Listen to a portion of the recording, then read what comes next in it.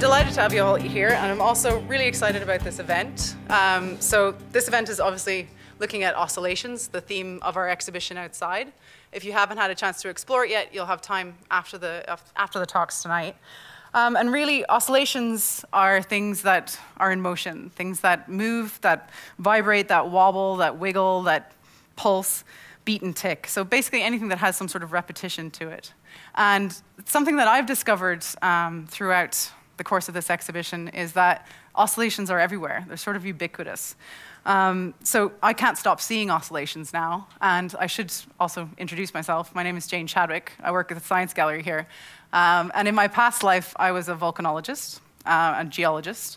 So my kind of things that are very close to my heart are sort of Earth systems. And when this exhibition opened, I started seeing oscillations not just in kind of very straightforward things like, say, a swinging pendulum or a kind of spring with a weight on the end, your heartbeat, for example, in biology, or uh, your neuronal waves in your brain, or even in economic systems, the boom and bust of an economic uh, system, or also feedback in a guitar amp, if you want. Um, I started seeing them in much bigger systems, so in things that affect us in terms of the, the whole Earth. So climate systems, for example, the weather that you are unfortunately experiencing uh, coming to Science Gallery. Um, also in Earth systems in terms of earthquakes, uh, volcanoes, which are obviously my, my uh, personal favorite as a volcanologist, things that resonate with the entire Earth, and then also even oscillations that go off Earth, so out into the solar system and beyond. And that's really what we're going to be talking about here tonight. And obviously, I'm not fully qualified to talk about all of those things, so I'm really delighted that we have an expert panel here with us today who are going to help me in this. Um, we're going to have a very informal setup, so we're going to have a conversation. It's not going to be sort of the standard academic talks. And in that, we have really great experts from diverse fields who are going to help us in that. Um, so first off, we have uh, a mathematician and meteorologist, but don't hold the weather against him, uh, Conor Sweeney from, from UCD. Uh, sitting beside him, we have uh, Professor Chris Bean over from UCD as well, who's a geophysicist and geologist, and he's going to kind of elucidate things around uh, earthquakes, I suppose. And sitting beside Chris, representing for Trinity College in, in Dublin, is Ian Sanders, Professor Ian Sanders, who's uh, basically a meteorite expert, as well as being a mineralogist and geologist and just general legend. Uh, Ian taught me as a student. um, so we're going to have a conversation about different, uh, different oscillations uh, here tonight. Um, and I hope over the course of the evening as well, we'll have a question and answer session at the end. And I hope you'll all join in um, and throw us uh, any questions that you might have about macro oscillations. We'll do our best to field them. Um, and really, I kind of want to start off by talking about why should we care about macro oscillations. So obviously, we should care about heartbeats and your brain waves, but macro oscillations also have a huge impact on our daily lives. So climate variation, for example, is probably going to be something that has a, a much increased impact on your daily life uh, in the next coming years. Uh, obviously, things like earthquakes and volcanoes, if you live in a, the right area, can have a huge impact. But even things that are off planets, um, obviously, people living in Russia a few weeks ago learned about um, solar system impacts in their own backyard. So we're going to talk a little bit about oscillations and how they how they kind of connect together as well. So it's not just that we're looking at distinct systems. We're going to try and see if there's links between them. So it's quite an ambitious evening to go, go from Earth uh, and beyond in, in the space of about an hour. But I think we can, we can get there. And really, I want to start it off kind of close to home and accessible, um, maybe more accessible, uh, with, with uh, Dr. Conor uh, over here, who's going to talk about seasonal cycles and, and, weather and things that are a little close to home. And for me, um, this is really not my field of expertise, but I, like everyone else, watches the weather forecast, and you know it's the subject of conversation any, anywhere you go in any taxi or bar. I would be really curious to find out um, what goes into weather prediction. Um, so the, the predictions that you see on television, how do you come up with them? How reliable are they, and are there oscillations involved? Uh, well, that's, that's a great question, Jane. Um, the first question that everybody seems to ask me is, is why do you get it wrong so often? So I'm glad you didn't start off with that. Um, forecasting uh, the weather, and in Ireland we're blessed with the weather, although we may not feel that way so much, because it changes so much. We have a, a wide variety of, of, different types of things that can happen during any season. Um, but overall, the way that we predict the weather, be it here or anybody else on the Earth, is, is by computer models. So weather forecasting, although you may not think of it being so, is very much a mathematical uh, field. Uh, largely mathematicians and uh, physicists would be involved. And before we can predict the weather, let's say here in Dublin or in Ireland, uh, we need to predict the weather of the whole of the Earth because it's a global system. And the weather that's happening over America right now will travel west to east and affect us in, in, two or three days. So the first thing we need is lots and lots of information about what the weather's like now. We put that all into a computer model that covers the whole globe, and we run that. And then we run a, a, another computer model that's a higher resolution just over Ireland and a bit of Europe. And that's how we get the prediction of what's going to happen to us for our weather. Uh, so it involves an awful lot of maths and an awful lot of supercomputers. Um, but as well as involving just maths uh, and, and, big equations, it does involve oscillations in, in, many different forms. And they can be from very, very large oscillations at, at planetary scale, thousands of kilometers long in wavelength, right down to teeny tiny little oscillations. Uh, there's uh, a meteorologist called Lorenz that, that started off interest in an area of maths called chaos, uh, which some of you may know through the movie Jurassic Park, if you're of my vintage. Um, the idea is, uh, and one of the popular quotes is that even the flapping of a butterfly's wings could, could change the, the event of a chaos, a chaotic tornado or, or hurricane somewhere else on the Earth. So the Earth is very sensitive to these oscillations, be they large or small. Um, there are I guess there are a variety of them that we try and capture within our computer models. The very large ones uh, are called Rossby waves or planetary waves. And, and, if you've ever flown between here in America and back, you'd be familiar with these types of waves because they're also called the jet stream. When we fly from Ireland across to America, we're battling the jet stream. It's coming towards us. Uh, when we're flying from America to Ireland, we're kind of surfing the jet stream. And that's why it's quicker to fly from America to Ireland than from Ireland to America. Um, but this jet stream isn't just a straight stream that comes from America towards us. It wobbles. And the reason it wobbles is the same as a lot of oscillations. Uh, it's, it's pitched a little bit away from where it wants to be, and then it tries to get back there. There's a restoring force, in this case, vorticity or potential vorticity. So if you're coming over the Rockies and you're this great big jet stream and you're going wee towards the earth, the Rockies bump you up, and you get deflected a little bit to the north. But you don't like that because now you're kind of more twisty. So you turn around a little bit back towards where you were and you overshoot it. You go down further south. And then you have to go back up again. And you see these big waves high up in the atmosphere, the jet streams. And they'll circle the North Pole. There'll be about maybe seven of them at any time, between three and 11. And that's, I guess, the largest oscillation scale of the atmosphere. But it can go right down to tiny, tiny little oscillations as well, uh, such as these small little butterfly wings or, or uh, uh, atmospheric variations in wind. And all of these things have a restoring force that'll try and bring them back towards equilibrium. And as they overshoot that, we can get different oscillations of different sizes. So if that Jurassic Park scene left a big impact on me when I saw it as a kid, um, but if things like butterfly wings flapping can have an impact on gigantic weather systems, that must be make your modeling very, very difficult. and I, I suppose you can probably blame inaccuracies in weather forecasts yeah. on, on, on that, things like that, can you? That's exactly what we blame. We always blame the butterflies.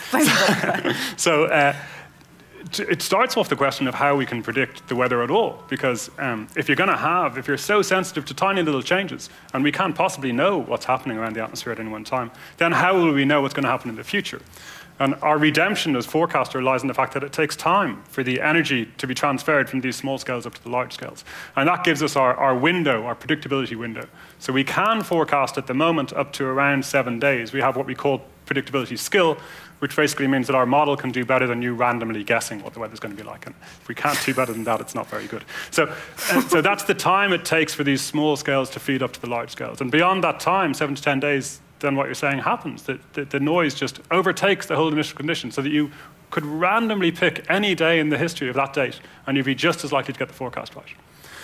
But that doesn't blow everything away because a lot of people then go, but you're saying it's going to get warmer in 100 years. Uh, you can't tell me if it's going to rain in five days, so how can you possibly tell me that? Uh, and that's part of the beauty of the Earth system. It's bounded. So, so we may not know exactly what's going to happen in 10 days, but we know that if we push the Earth system a little bit harder, it'll react in a different way. And climate models aren't trying to tell us is it going to rain on Wednesday in 100 years. It's going to try and tell us if we start pushing a little bit harder, will this change the whole way that our Earth system acts? And that's what we try and do within climate models. So if we're looking at how the system reacts, we can say things about decades and centuries in advance. But if you want to know if it's going to rain on your, on your wedding day, you shouldn't ask anyone until it's about a week away from your wedding day. okay, good, good to know. Um, so you were kind of touching on, on climate change there um, with, with your last, uh, last comments. And I know um, I, I, I, have family members who kind of say this to me, you know, it's, it's freezing outside. How, how, is it, how is it that it's, you know, global warming? Um, so obviously, you know, the kind of weather that you experience day to day is very different to the climate and, yeah. and, and, and the system overall and how it might behave in the future. How do you go about kind of uh, mapping that out? That's uh, uh, the most difficult thing that we have to do in climate modeling today. It's the biggest challenge. There, there will be a new IPCC, which is this global body that looks at climate um, science. They'll be coming out with a new report later on this year, and I think they're going to talk about the fact that the uncertainty is what we need to get a handle on. It's not, is it going to get warmer? It's how, how sure are we about how warm it's going to get? And even more importantly, what's the spread? Could it go way warmer or way cooler, or how likely is it to, to be somewhere around the edges or the extremes of our models? And we get around that by running lots and lots and lots of models. So every model calculates the climate in a slightly different way. Um, and they're all the best models we have. So we can't say this model's right and those other 50 are wrong. So we run all of them. We run all of our models, and we look at the output of all of them to try and get a view of the ranges of what can happen in the future. Uh, and this is interesting because it may get three degrees warmer, which sounds like it might be a nice thing in Dublin, uh, but it's the extremes that are worrying. If it gets three degrees warmer, but but we get more extremes, then even in Dublin, uh, we could have these, these terrible cold periods as well as these terrible warm periods or these terrible floods that will sink the Dundrum shopping centre or whatever may happen. I mean, and, and all of these things are consistent within a possibly small shift in the average of the future. Uh, so that's why we, we gain uh, an idea about uncertainty in the future. Okay, so uh, that was kind of leading into what I wanted to ask you about next in terms of models that you're running. Do you have uh, a clear kind of prediction for, for Ireland and Dublin or uh, in, the, in the near future to the, far uh, future? Well, the, the, the good news for Ireland is that um, we're not going to be nearly as strongly affected as most other parts of the globe. We're, we're really fortunate why, because, why? yeah, be, because of the Gulf Stream. So this, this wonderful current of air, or current of water, which heats the air, which comes up from the Gulf of Mexico, comes towards us. Ha, another wonderful movie, The Day After Tomorrow. Um, involved a actually not as completely unrealistic view as you may think. It, it, involved the shutdown of this current of warm water that comes from um, Florida up towards Ireland. And this warm water moderates the air, it heats the air above it, and that keeps our climate in Ireland to be quite moderate. So we don't get really, really hot or really, really cold because of the influence of the sea around us. Um, were that current to shut down, which is what they talked about in that disaster movie, it would cause a very large difference. But that's uh, not at all likely to happen within centuries to millennia uh, in any uh, of our physically realistic futures. Um, so, so the outlook for Ireland may look really good or, or, may look somewhat neutral in, in the average, but of course we could still be exposed to these extremes, these, these floods, these flash floods, these changes in precipitation patterns and temperature extremes. And even were we not affected by these as much as other parts of the world, we are part of the world. I mean, we buy things and ship things and interact with, with the globe. So even from an economic point of view, it, we have to get a handle on this and how it's going to affect us, even if not directly, then indirectly. Okay.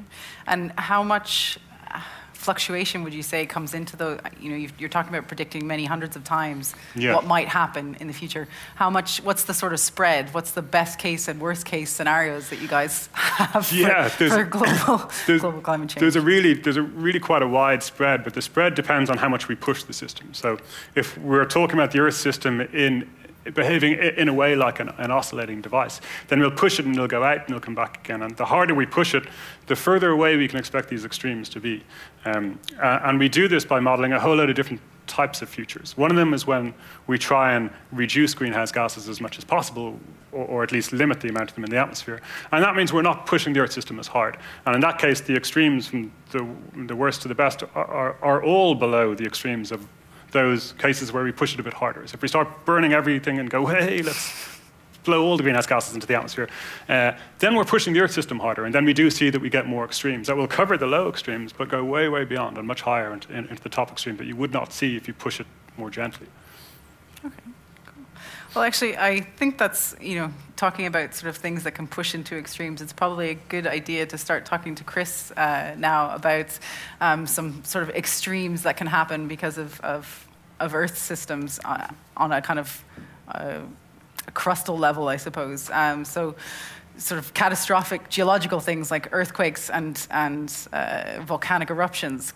There are kind of instances of, of climate interacting with these both these features and potentially feeding back on them. Yeah, the, as, as Conor was saying, the, I mean, the whole system is actually connected uh, at some level. But the main, the main driver for what happens in the Earth's crust, the main reason why we get earthquakes, for example, is also related to you, what you can think of as a very large scale convection, which in itself is a type of oscillation. So deep in the Earth, we have the Earth's mantle, and it is convecting slowly um, maybe this, if you tracked any one point in, in the mantle, it's moving at about the speed that your nails grow, but it's relentlessly convecting or moving. And it's moving because the Earth's mantle is hot.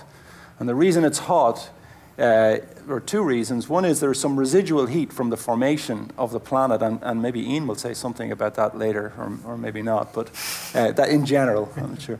Um, but that's not the only reason why it's hot and moving. In fact, Lord Kelvin, as in degrees Kelvin without, without the degree, um, he, uh, he underestimated the age of the Earth because he thought that all of the heat inside the Earth was due to the original formation of the Earth. Um, but radioactive decay plays a huge role, and he didn't know anything about that. He was before, before we knew about that. So, through radioactive decay and some original heat associated with the formation of the planet. We have this heat engine, essentially. And it actually is the reason why we live, and one of the reasons at least why we live in such an interesting place, because the planet is always renewing itself as a consequence of, of this convection. So it's driving the outer skin of the Earth, which is called the Earth's crust, is what it says. It's a crust. It's a kind of a crusty, hard part, relatively hard, on the outer skin. And it gets shifted around what we know as the plates uh, as the Earth's mantle convects. But the crust isn't large enough to cover the whole surface of the Earth. So you end up with gaps. So you end up with individual distinct plates. And then they interact, they rub off each other, they push against each other, they pull apart. And when they're doing that, they, you know, they, they're tending to stick and then slip and stick and then slip. And as they do that, they generate earthquakes. And it was interesting to hear you talking about uh, trying to forecast the weather. The big question you get asked is, you know, why can't we predict earthquakes?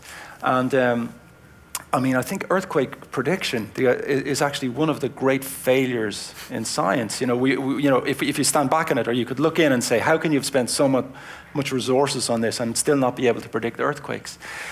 And it's related to the idea of sensitivity as well. I mean, the Earth's, uh, the individual parts of the Earth's crust are, first of all, their strength is not very well known. It's, we, we can't measure it everywhere, so we don't really know exactly how strong it is everywhere. And we don't exactly know how much stress or pressure is going into the system from the convection. So we don't have a handle on all the inputs um, for the system. And even if we did, we possibly wouldn't be able to say exactly when something's going to break. The analogy is the straw that breaks the camel's back. You, are loading up the camel and you think, hmm, you know, I, I don't want to make another trip. I'll put one more thing on the camel's back and, you know, the camel can't take it anymore. But we don't know where that point is. So therefore, it's very difficult to say when the Earth, uh, when the Earth's crust is going to break. So the idea of actually predicting the place and time of an earthquake, not to talk about years in advance, weeks in advance, even minutes in advance, it's just not possible at the moment. And there are analogies to what you talked about in the chaotic system. In this case, it's often called what's, what's often thought of as what's called a self-organized critical system. So it's critically unstable. And in a critically unstable system, the relationship between what you put into the system and what you get out uh, isn't linear. So, in other words, it's like imagine trying to play non-linear football. So, how far the football goes has, doesn't have a relationship to how hard you push it. So, you can kick it hard, it might go a little bit, or you can kick it a little bit, it can go a long way. So, the, the Earth's crust is kind of like that. You can just tap it, and you can release some, a lot of potential energy in a system or, or, or, or strain energy in a system, and it can ripple through the whole system. Um, so you're actually, you're just releasing, you're the trigger that releases the stored energy in a system. Or else you can push it really hard, but if it's not quite ready to go, because it's such a big system, no matter how hard you push it, it's not really going to go until it's ready. So there's, it's, it's a highly nonlinear system and really, really unpredictable.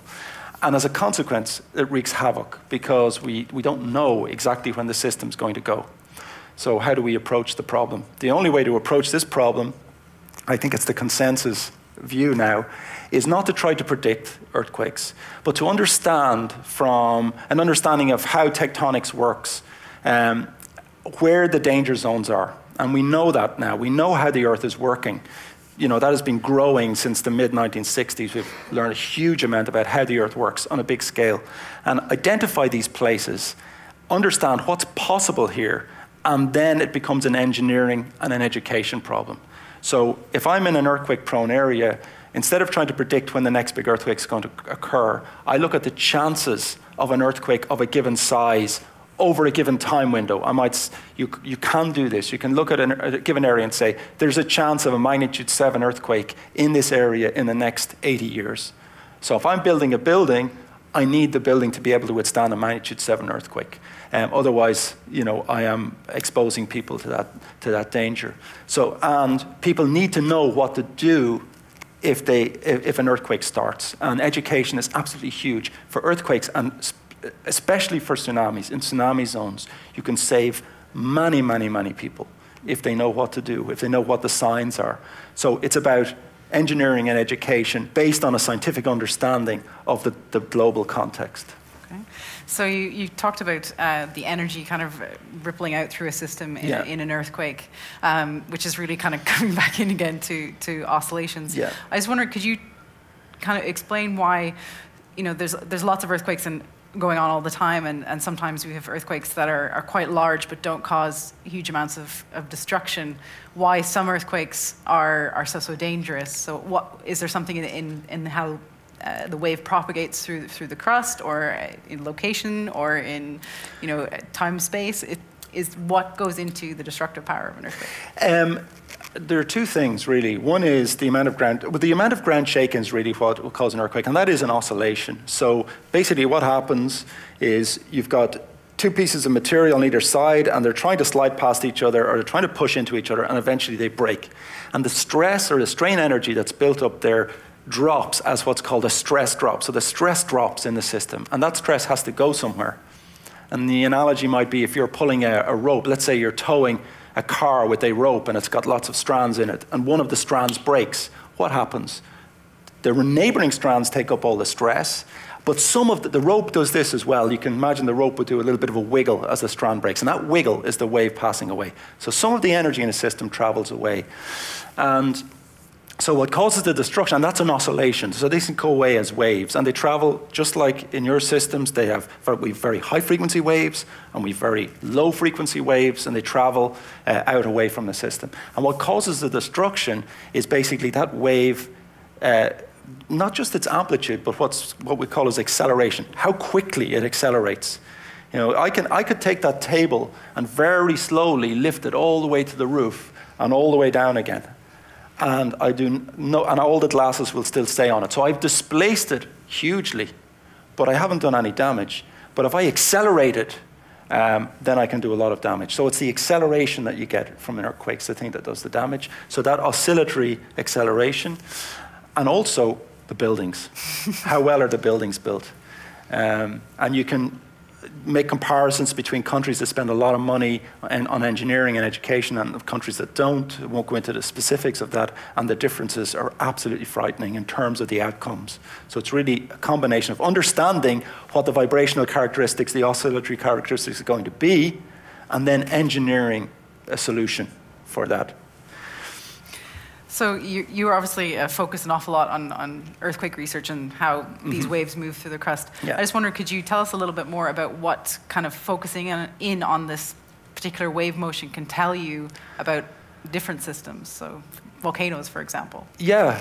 Um, well, what you can do, it's you know, earthquakes aren't all bad um, because when earthquake goes off, it is it sends these waves that it that it sends out can be actually used for looking inside in the earth and looking at other structures. It's equivalent to uh, analogous to medical imagery. In medical imagery, you send some sort of a it can be uh, you know, a sonic scan or it can be a, an X-ray scan or whatever it is, but you're sending some sort of a wave and you're looking at how that wave bounces off objects that you want to see inside in the patient. And, and essentially, we do the same thing. We look at the waves that propagate away from an earthquake. They bounce off structure inside, and we can we can look at how these reflect back and we can build up a picture of what the inside looks like. Um, so we can build up a picture of what the inside of, of volcanoes look like, and we can uh, build up a picture of what the whole Earth looks like based on the oscillations that come back um, from, these, from these waves. But the other thing these things do is they, they uh, very big earthquakes, and you, we talk about large scale oscillations, and I actually have a video that might be worth looking at. These very big earthquakes set up huge oscillations of the entire Earth. So if you think about it, when, when, the, when earthquake goes off, you can imagine waves that go like this around the Earth, okay? But if that wave, but the Earth is, is a bounded object, so it's not, it's not just free at both ends. It's like you took a piece of string and you brought it around and tied it to itself, okay, around the edge. So you can think of waves that have this wavelength to go around, but the longer wavelength guys go around like this, the longer wavelength guys like this, and if the wavelength of the waves, the, the difference between crest and, and, and crest, gets long enough, it realizes, hey, I'm a bounded object here. I'm not, I can't freely propagate. And the whole Earth starts to wobble or oscillate. And you get these huge free oscillations of the Earth. Is Danny there? I actually have a, a video of this, um, if I can. I tell you, this is Zumba, Humba, Ramba, you name it, all the dancing. Just, Danny, if you just click, leave them for a few seconds, click one and leave it for a few seconds, and let's see. And then, okay, and try another one. Yeah, if you come down here to eight, eight, yeah, out to your right. Yeah, somewhere out here. Try that. Ooh. So when this is uh, this stuff sets up, or big earthquakes set this up. They set the whole Earth going like this, and it acts at all different modes. So the first one, if you go to the very top one, please, yeah. So this is called the breathing mode. The Earth's going like this. And then you can look at smaller, smaller and smaller scales, higher order oscillations, like spherical harmonic analysis, essentially. This would, if you yeah, you can see that it, it, works at a whole range of frequencies. Now, these amplitudes are hugely exaggerated. in, in oh, I didn't. I actually didn't. Need, I didn't need to say that, did I? Um, these are of the order of a, of a millimeter or so, but uh, but they're measurable, and you actually can measure them with a with a gravimeter as well as a very very broadband seismometer. But it does all sorts of weird stuff. Um, if you actually go to the next slide, please you can actually see um, this is an example of, of free oscillations of the Earth, so very large scale oscillations like we've been looking at, that was set up by the uh, Sumatran, what we all know as the Sumatran earthquake in 2004, the one with the very, very large tsunami. And you can see here, these are in millis, uh, millihertz. So this is, this is about 16 minutes here, one. And you can see the next guy is 20 minutes, 35 minutes, you see the little yellow things at the top. Uh, 53 minutes, and up the right hand side is the amplitude, how big these things are. So you saw on the previous slide, you know, you get this, we didn't do toroidal, we just did these. They're going like this and this and this. So this tells you, the height of these spikes tells you how big they are relative to each other. So this on the left hand side says that this guy here is a very big amplitude But you see the number 53 minutes, that, uh, that cycle takes 53 minutes for the Earth to go out to that, like flatten out like that, and go back again. So it takes, it's a 53 minute oscillation. So we're talking about large scale oscillations here. This is a, a 53 minute oscillation of that shape. This other shape here, this wobbly thing, takes 35. This breathing mode here, sometimes called a football mode, it takes 20 minutes to go in and out like this. And you can see it's a big one. It's a big one. It's a big one. But if you look down, lower down, you see lots of little spikes and peaks. So it's doing all sorts of little things at different amplitudes and at different periods and frequencies. So the Earth really is a, when an earthquake goes off, not only do you get these shaking waves, but you get all this, uh, you know, that, that cause the damage, but you get these wobbly things as well. They don't cause a lot of damage, their amplitude is too low.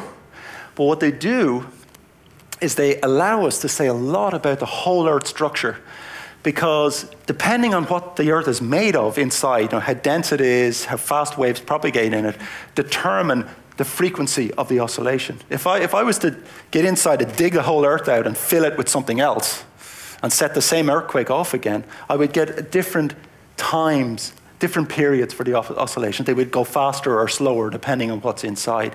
So it allows us to access the gross whole Earth structure just by essentially what you're doing is you're taking the object, you're giving it a bang, and you're just watching what it does. And that tells you what's inside in terms of uh, gross structure and materials. Wow, that's crazy. I've never seen that sort of animation before. Even if it was grossly animated, it was very entertaining.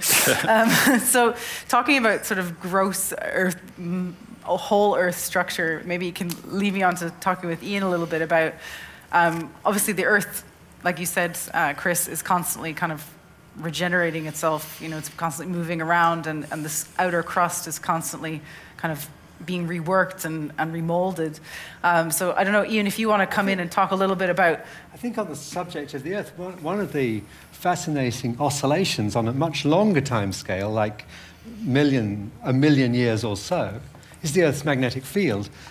We think the North Pole's at the North Pole and your compass points to the North, but if you were to wait long enough, you'd find that the magnetic field diminishes and becomes very weak, and then suddenly it pops up the wrong way around, so that your compass would point south. And this came as a great surprise to geologists. What, what, what, uh, well, they discovered it because they found successions of lava, and the ancient lava flows going back through time are the oldest ones at the bottom of the pile and the youngest ones at the top. And when lava freezes and goes hard, it, it preserves a record of the Earth's magnetic field. And when they went through the layers, they found that the Earth's magnetic field was one way, one way, one way. And suddenly it flipped over and was the other way. And clearly something is going on in the Earth's core. We know from uh, studies of earthquakes that the Earth's core is, is liquid. The, the, the, what they call S waves, the shaking waves, can't go through the core. So there's li liquid there, it stops them getting through. And, and this means that convection in the core can be very rapid indeed, not like this very, very slow creep in the mantle, but very fast.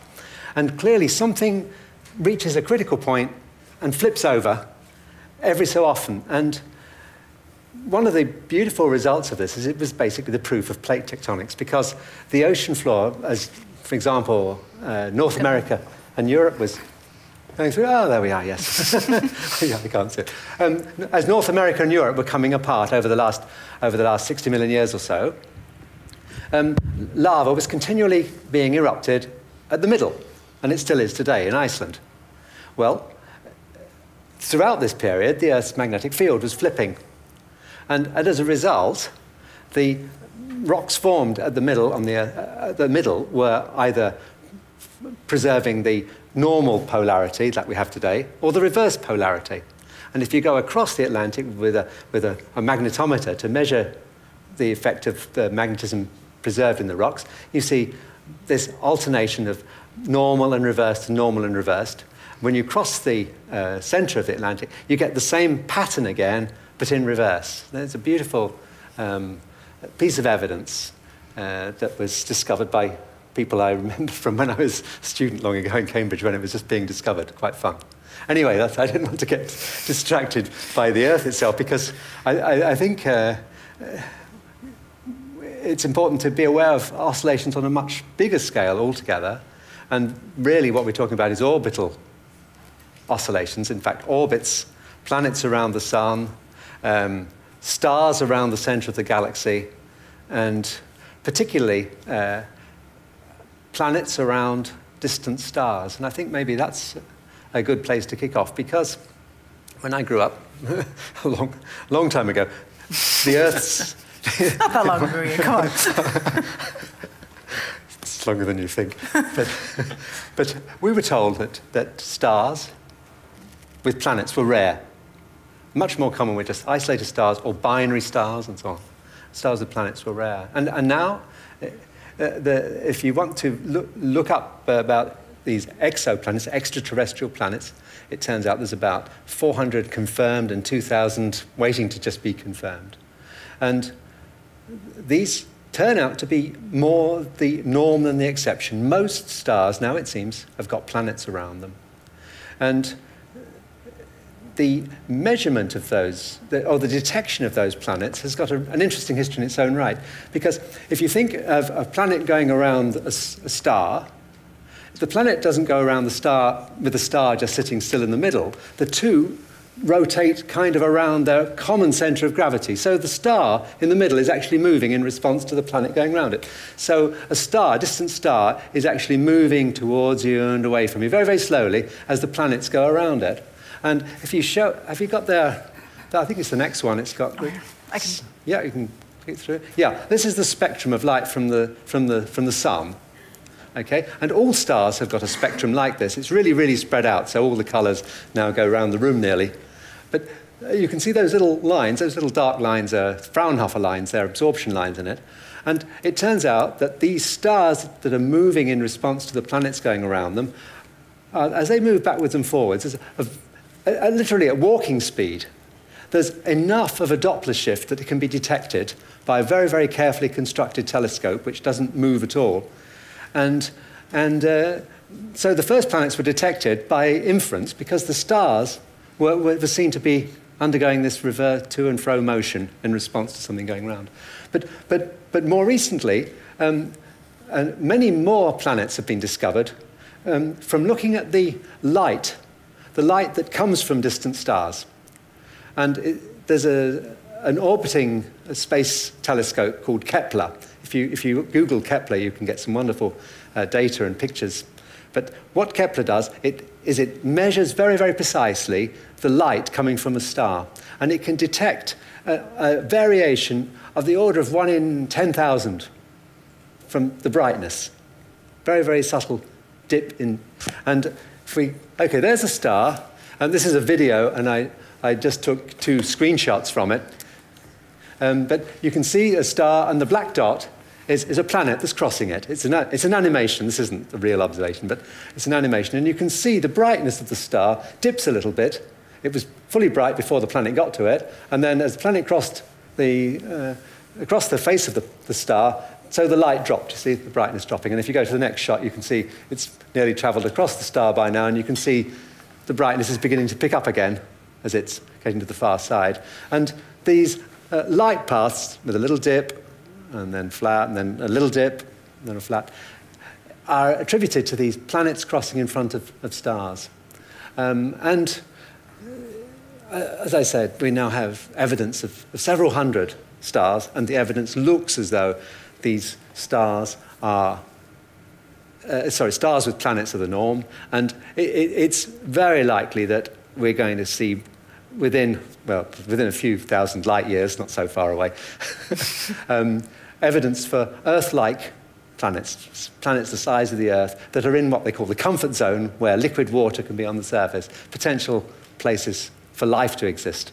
Now, the chances, of, if, if there is life communicating, of course, are impossible because the distances are too far to communicate. It takes 10,000 years for, for, for uh, light to travel. There's no way of communicating. But, the, but it's really interesting to know that, that, that, that the likelihood is that there, there are planets out there that could support life. Yeah. So that's it. so we've gone as far away from the Earth as we yeah. can nearly get now. Yeah, yeah. Um, but so that's really using oscillations to, you know, oscillations being quite useful the, in that we can use it to find exoplanets. Yeah, yeah. And, and know a little bit about them as well. Yes, yeah.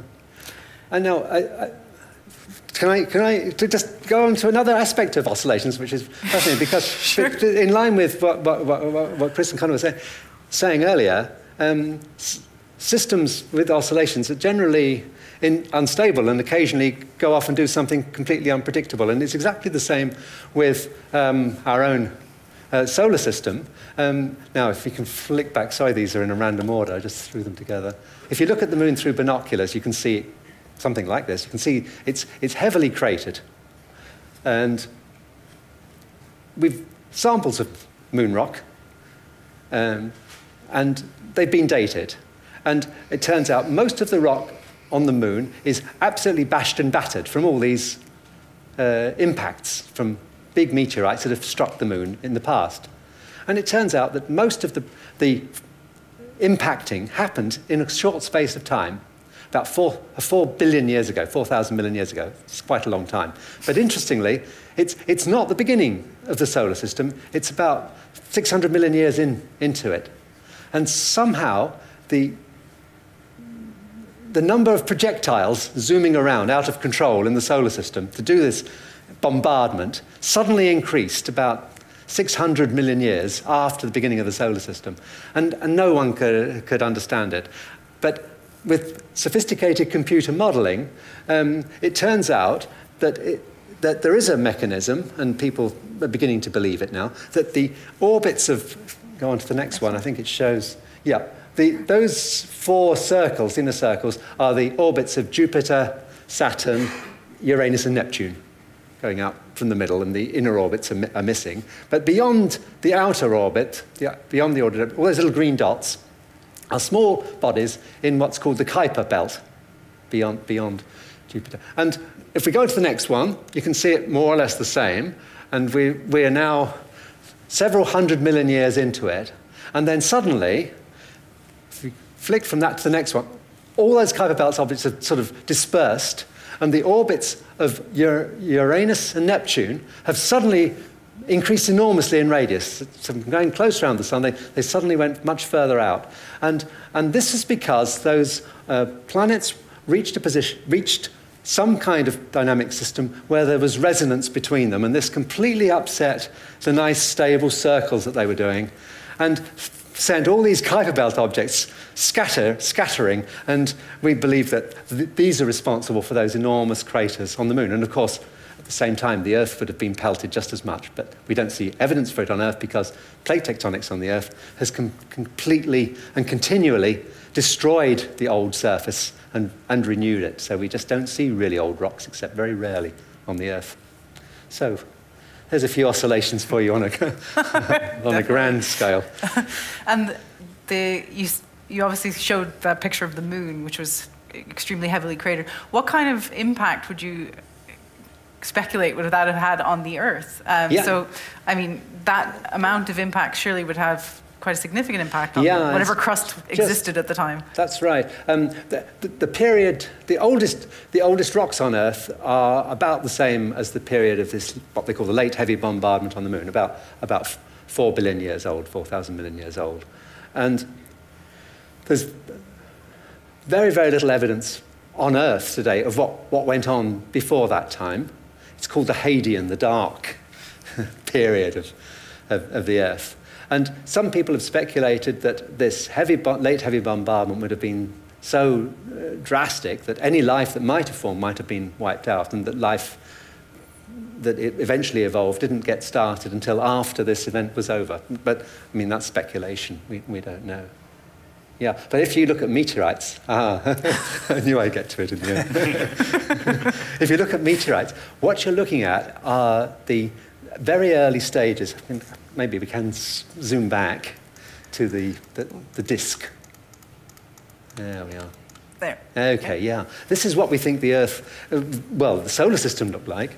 Um, just a few hundred thousand years after it, after it started. The, the, the, this was 4,567 million years ago, if you like a nice number to remember.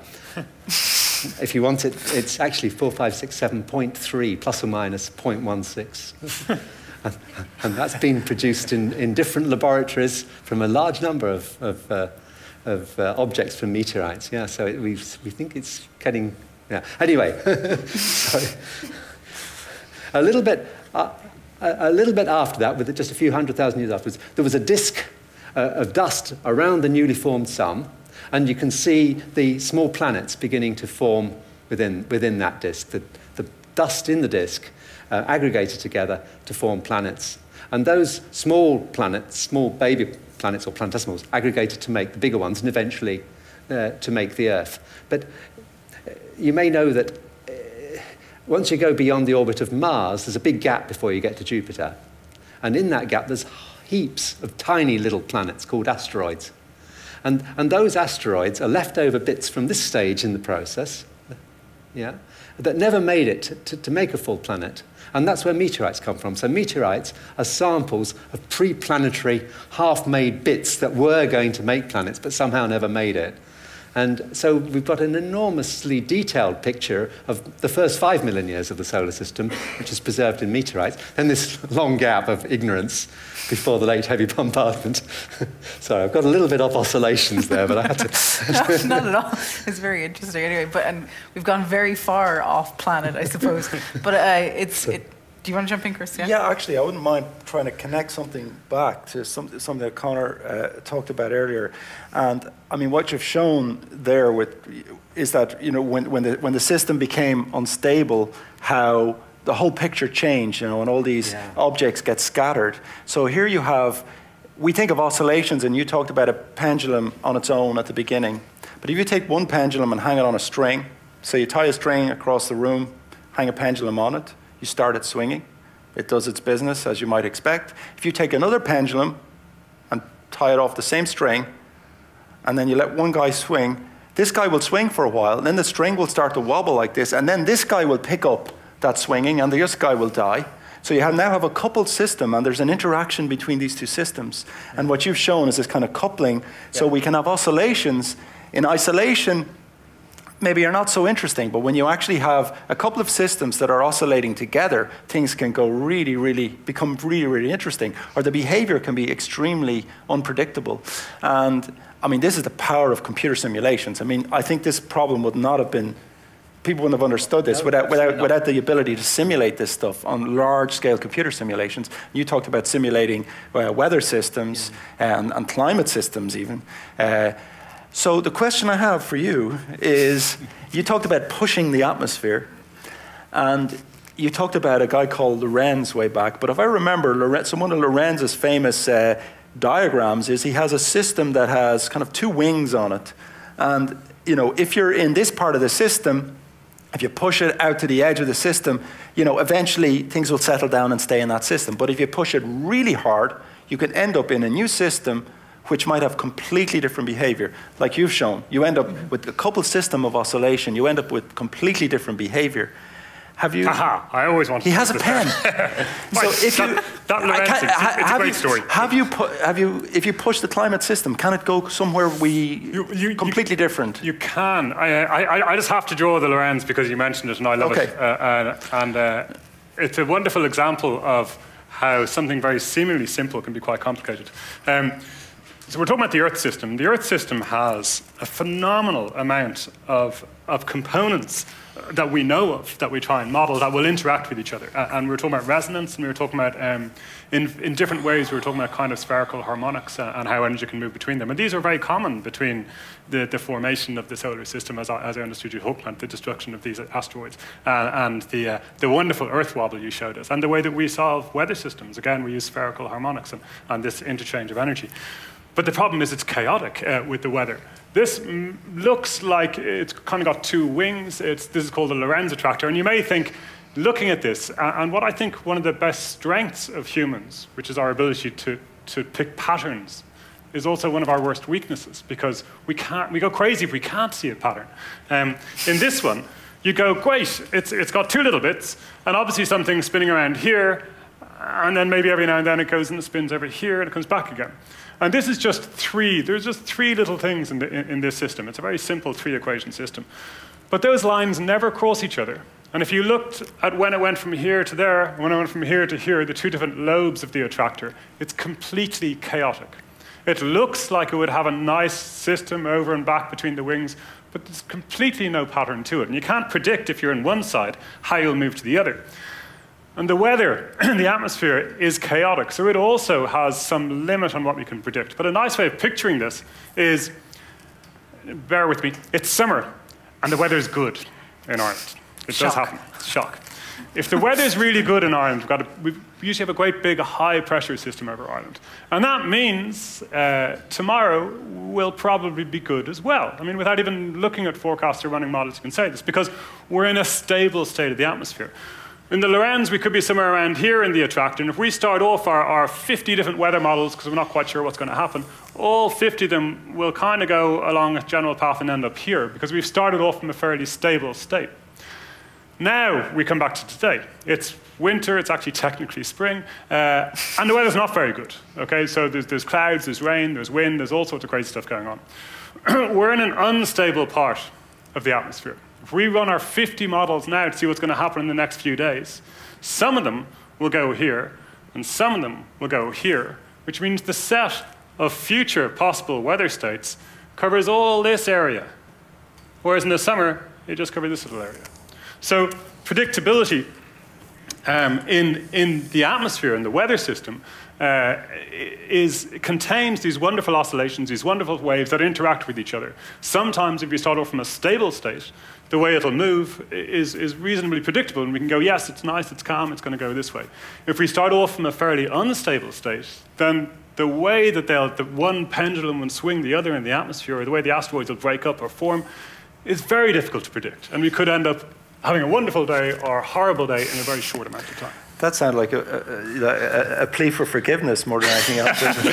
well, well I, you made me feel slightly better because we generally can predict about three days, but, uh, but apparently you can't predict earthquakes at all. Yeah, yeah, fair enough. Fair enough. I, I, set myself up for that one. So if that's the weather, but if, it, if you talk about the climate, is it possible that we can end up here in the climate system and yeah. you won't know which way the climate's going to go? That's more what I was thinking about there, earlier on. There are well. these tipping points in the climate system, and a, a, tipping point is when you get a change. Yeah, I, yeah, that's fine. I have to remember what your question was. From maybe one of these areas to another area. So, uh, an area where the climate stays within the general bounds of what we see now exactly, to yeah. a situation where the climate changes quite dramatically. And this can and, and, probably will happen because it has happened in the past and it probably will happen again.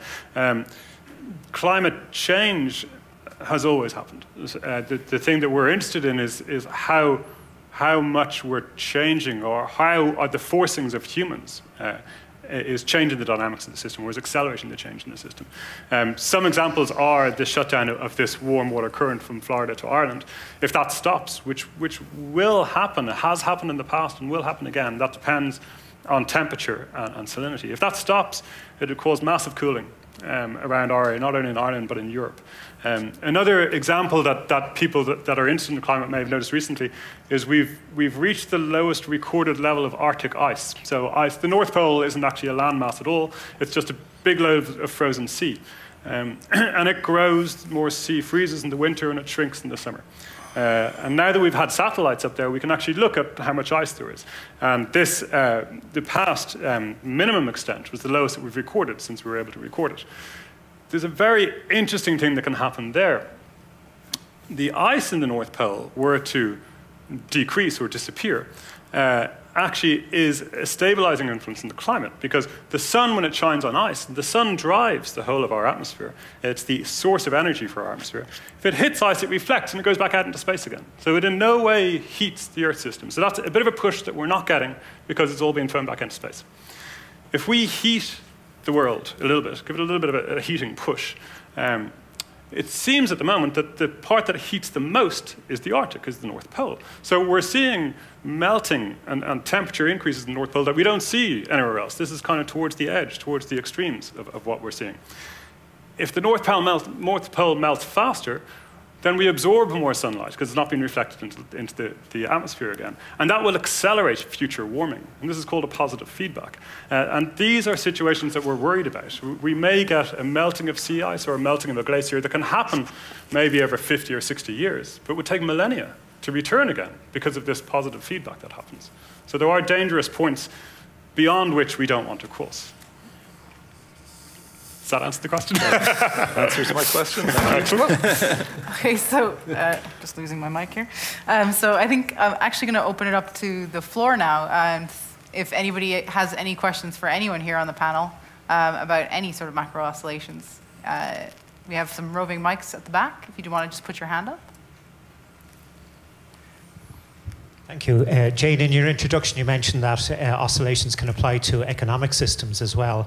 And I'm just sitting here wondering uh, has anybody done any study about the, the relationship between economic oscillation, like the expansion of human activity and the driving of CO2 into the atmosphere and so on, uh, and is there a relationship between that oscillation and the weather oscillations that you've just been speaking about? Has, has there been any work done on that? Is, is it worthwhile doing any work on that? It's de- definitely worthwhile, and th- there has been a lot of work done by uh, done into that situation. It's kind of a socio-political economic uh, area, none of which involve me, but it's very important. And, and we talk about uncertainty, um, uncertainty in trying to know where we are now and in where we're going. And in predicting the weather, what we have to deal with is uncertainty of exactly where we are. But in predicting the future, we need to know what the population will be. We need to know where the population will be and how that population will treat the earth. And I mean very simplistically here, whether we'll cut down trees for different farming, that affects the earth atmosphere. Uh, how much energy this increased population will require affects the amount of greenhouse gases we produce. Um, and there are a, a, group of people all over the world that work in this, and, but they come together and put together what are now called um, different uh, regional pathways, or RCPs. Um, there are about four of these that we as climate modelers take. So when I mentioned uh, at the beginning when I was talking that we could be optimistic and say we'll try and limit the amount of greenhouse gas emissions, that scenario is based on, on this research uh, that come together and they form future scenarios of global politics and global economics. And from that, they give us a feed in on, on land use and greenhouse gas emissions. And then we use that to try and predict the climate. So you can't have one without the other. You absolutely need to know di the dynamics of population and the economy, which drives that. Uh, and they then drive the releases of greenhouse gases, which then we use to model the future of the Earth system. Conor, can I just jump in and tag you onto your question? Um, so for me, like I, I, wonder as well about a shorter scale, um, smaller scale, time and space um, variations that would link in with, with things like economic activity. So, um, for example, with the Iceland uh, eruption in 2010, there was an impact, a sort of strange impact on climate where, because of all the, the, the contrails and things, there was speculation that there was a variation in kind of the amount of radiation that was making yeah, it to the Earth's yeah. surface. So you saw a change in temperature just because a volcano erupted and there weren't so many planes in the sky. Yeah. So I wonder is if you were thinking as well about kind of economics on a, a smaller time scale, can you can you track variations because you know the entire world's in a bit of a recession? Yeah, the, the ability of a lot of countries to meet their, um, their greenhouse gas emission targets are not being exceeded as much as they would have because of the global recession. And this is an absolute fact.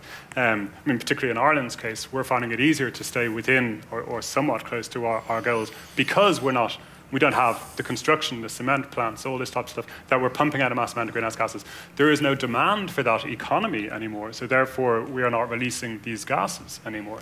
Um, a now, small, a small I, bonus. Yeah. uh, the unfortunate thing is, I, I wouldn't be optimistic that we're going to try and maintain that. I think I mean, you have to have a balanced view. When the economy starts growing again, people are going to start building again, and people are going to have more demand for things, that higher energy use, and this will result in an increase in greenhouse gas emissions. The job, I think, is to try and get them to do it in a way that, that is efficient, as opposed to just going crazy. Okay. Can I make a, a quick point on, on, on, that? It's maybe not exactly around the question, but even at a more fundamental level, um, there are strong connections between the type of system that we get uh, through that, uh, say, trading on the stock market and what we see in Earth systems, for example. And um, I mean, in a sense, they're, they're multi-agent systems. So you've got lots and lots and lots and lots of components that are interacting. So although the interaction between one component and the other, that could be one person and, and one activity, is understood, when you have these multiple components that are acting in a, in a systemic way, then you end up with, with, with uh, very unusual behavior. So it, uh, and, and a way, this is maybe a real stretch, but we can think of we're biological agents on a physical planet, and we're actually generate, we've generated a system that has a lot of the same statistical behavior as the, as the planet itself. So, say for example, if I was to take, uh, go along a cliff face and try to measure the strength of a piece of rock, I could take a piece of rock and I could calculate, I could just average, get the average strength of that piece, and I would get a number. Then I would take a bigger piece and I'd get the average strength of that piece, and I get a number. Take a bigger piece, I take the average strength, I get a number no matter how much I take, that number doesn't converge. I, don't, I can't find an average property because it actually doesn't have an average because the number I get depends on the, the scale size I look at. And I think the atmosphere has the same problem with, say, temperature fluctuations and so on. It's exactly the same with the stock market. You can take the average price over you know, a few days, a few weeks, and you can keep taking longer and longer time, and you don't converge on a single number. So that system, from a dynamic point of view, is behaving very much like uh, the, the, way a lot of systems, multi-agent systems behave. Although, you know, at a first glance, they should have nothing to do with each other. They may have nothing to do with each other, but systemically, they behave in the same way. Uh, any more questions?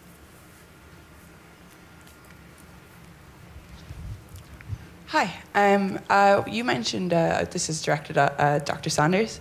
Uh, you mentioned earlier about the magnetic field and uh, how you could uh, track the polarity, the flip in the poles. And I was just wondering how predictable that is. Like, is there a pattern?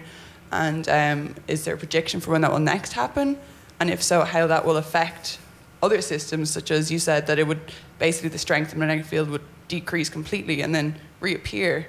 Basically, will that how will that affect us? And well, um, do you do you have a, that scene at the beginning of day after tomorrow in your head. There's birds flying into shop windows and Will things. happen? Se- seemingly, this change in the in the Earth's magnetic field hasn't had any uh, dramatic effects on, on life, for example. Life's carried on almost regardless. Um, apparently, when the field's very low, the influx of uh, cosmic radiation and uh, material ejected from the sun at high speeds, which can which can do damage, gets into the closer to the surface of the Earth more, more easily because the magnetosphere doesn't have the strength to uh, deflect it. But it's, well, to, to answer your question, no, we don't know when it's going to go next. It behaves in a rather unpredictable way. If you look at um, an Ordnance Survey map, if you, if you like walking, it's got a tells you that the magnetic north is decreasing at uh, so many um, fractions of a degree in 10 years. But then if you look at a more recent map, you find that that was wrong because it's now accelerating much more. So, so we don't know. It's, it, it, it's, a, it's a very variable system. The, the strength of the magnetic field certainly has been um, measured, well, it's been measured by proxy going back about 4,000 years because when you make mud when mud bricks are made in Egypt, for example, that preserves the magnetic field and the strength of the magnetic field, and you can reproduce, reproduce uh, the, by making bricks today in today's magnetic field and comparing them with bricks that were made back then, you can see what the strength of the magnetic field was back then. And so we know that it really does uh, vary in strength, the magnetic field, uh, oh, of factors of 10. It's really huge. And it's seemingly when it gets very, very low, it doesn't always come back up the same way. That's when it flips over. So it, it's a completely chaotic system and unpredictable. So I don't know if that answers your question. Kind of following on from that, uh, do we have a, a good, any idea about what drives the, the flipping? Well, it, I, I, it's complicated because. Sorry for that one. well, seemingly the, the Earth's core is, is li liquid uh, and is convecting. And because metal, liquid metal, is a great conductor of electricity, then, then you end up with electrical currents being generated. And these in turn create a dynamo effect, which generates this magnetic field. And the magnetic field, its orientation and its strength, just depends on the nature of the convective overturn in the core. And that's the thing, a bit like the weather, it, it, it can change at a whim, and it, there's no way of predicting it. In fact, this uh, the Lorenz attractor is a, um, a box that's heated at the bottom, and that's all it is, and it's convection within okay. the box. And that so, whole chaotic system so, is just convection of a fluid. So, so it's yeah. difficult to predict. Any more questions? This is uh, about weather prediction and so on. Now that we gather more and more data, do you include these kind of data in your models and update them so we will be able to predict the weather more accurate way or something? Yeah, the, um, actually, it's, it's, an interesting question that because I was thinking the same when, when I said to Ian and Chris. One of the big things that helped us um, was the advent of satellites. Uh, when satellites came out, we could see the Earth. Before that, we could only record the Earth. Wherever we had instruments to, to measure the atmosphere, or, or weather balloons, or ships, or planes, we had all these observations. But now we have satellites, and satellites gives us hundreds of thousands of times the number of data that we had before that.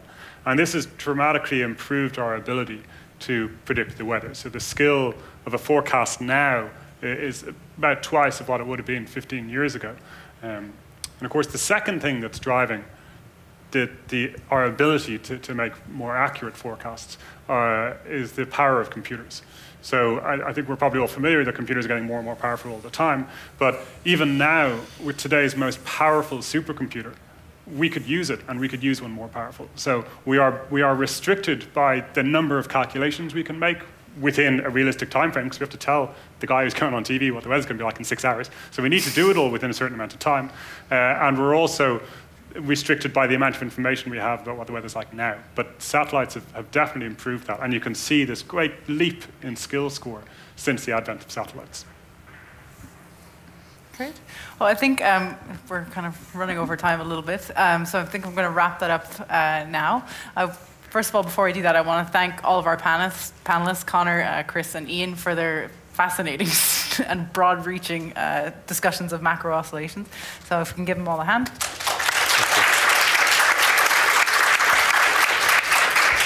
And I'd just like to invite you all then to go out and explore um, uh, Oscillator if you haven't had a chance to yet. Uh, I think you'll recognize several of the things that were discussed here today. Um, Lorenz's uh, diagram. There's also a, a piece outside that, that, touches on the kind of harmonics of earthquakes. We have solar flares uh, out just outside the door here. Um, so go out and enjoy and look for oscillations everywhere. Thank you.